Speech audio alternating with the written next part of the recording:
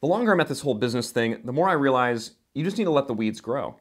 If you don't understand this lesson, then you'll get a lot of things done, but you won't get the right things done. If I spend all my time focusing on making sure that the walkway is immaculate and the gravel is dandelion free, I won't have the time to tend to the sweet peas and make sure that they're growing up the trellis the way that they should. I won't have time to thin out the kale plants to make sure that the healthiest ones flourish. It's the same in business. Let there be some weeds in the garden. Let the email go unresponded to for a day. Let the office look slightly askew let the taxes go unpaid.